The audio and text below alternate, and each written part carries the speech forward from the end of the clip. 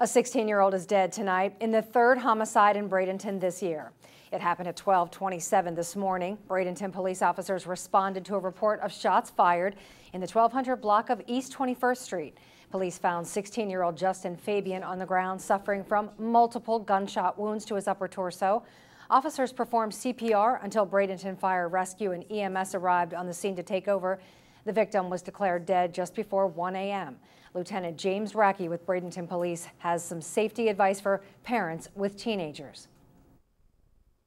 Being 16 years old, being out that late at night, or you can actually say early in the morning, you know, I wouldn't want my kids out that late at night all by themselves.